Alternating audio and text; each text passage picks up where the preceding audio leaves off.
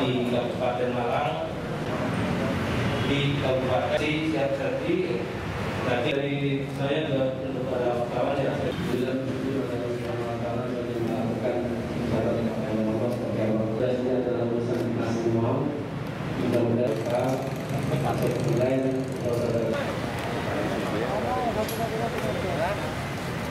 Allah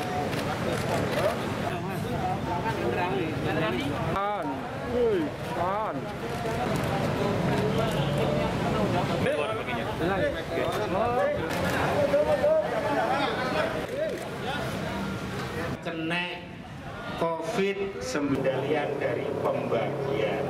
Itu dari sini kompromi.